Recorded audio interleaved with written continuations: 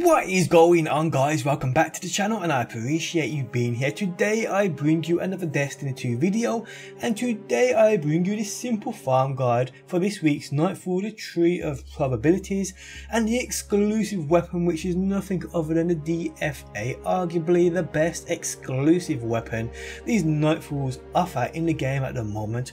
But before we get into that guys, to be with a chance of winning my monthly controller giveaway, simply drop a like on this video and leave a comment down below. More details will follow at the end of the video. Okay, so this is for either a two-man or three-man team who want to go about their time grinding this amazing hand cannon, the DFA. Now this requires four things to work, a Warlock with their Lunafaction boots with their Empowering Rift selected, and a fully auto shotgun. The IKELOS SG works best for sure, but other shotguns like the Perfect Paradox are great. In fact, most full auto shotguns will do just fine here. And that's basically it. Other subclasses and characters are fine whatever is being used. Now the shotguns I would say make sure they are void as its void singe I feel is definitely the best to use for this strike.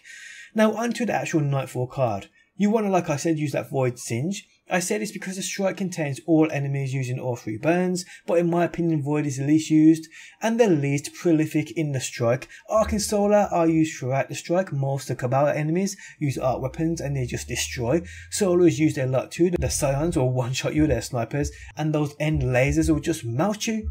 Plus, we also know within this strike there are three instances to the final battle with the boss. Here you will kill him within the first instance in about 5 or 10 seconds, but it does tend to slam the floor sometimes, which I believe deals arc damage and has a tendency of one hitting you to your doom. So Void is definitely the best thing to use for this one in my opinion. Also, you want to make sure you are using heavyweight. Power ammo is a must as you well know. Another mod to use is momentum. Now a lot of people are wondering why would such a mod be useful? Well, you want to farm these nightfalls as fast as possible. Running through that infinite forest is a way to make it fly by and use momentum really helps your case here doing this because the amount of enemies that are just trying to take your face off and you're running a lot trying to avoid this, momentum really does work well here. Okay, so once you are all set, Warlock, Lunafaction Boots, Empowering Rift, Shotguns, Void Singe, Heavyweight, and Momentum, run through it until you get to the first instance of the boss encounter, where he flattens that big bad Vex dude. Here kill the ads, the Vex dude will then spawn in. Here you want to put your rift just in front of these rocks right here, as this is where you will stand and kill the boss. Plus when he slams in, you have something behind you so you won't go flying.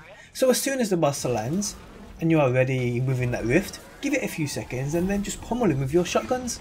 I ran it a few times tonight, most of it in a duo team, but I also ran it in a three man team too. A couple of times as you will see, he slams and kills my teammates while I still finish him off with my shotty. I do believe this probably could work doing it solo on a Warlock with that Empowering Rift and Lunafaction boots.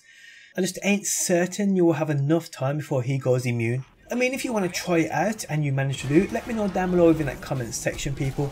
But yeah, it really is as simple as this. In my opinion, the fastest way in farming the DFA and killing that boss in seconds. Shotguns, Warlock, Empowering Rift and then Lunafaction Boots. Drop the Rift by the rock, as soon as he lands in and flattens that Vex dude, pummel him with your shotgun. He won't even have time to think. Now after you do kill him you will have to run through to the final room, killing a few enemies on your way but nothing hard at all. And the reason you have to run through to the final room is to collect that chest and that also beautiful loot people. But guys, on that note, I am out. If this helps you out, be sure to drop a like on the video as it really does help me out and I do appreciate the support. Also, before we go, every single month, people, I'm giving away a fully customizable controller for either Xbox or PlayStation, sent anywhere in the world. To be in with a chance of winning it, make sure you're subscribed to this channel and have that bell button ticked. Drop a like on this video and leave a comment down below and follow the Gleam link linked at the top of the video description. Fast, simple, and legit guys. But on that note, I am out and hopefully I will see you on that next one.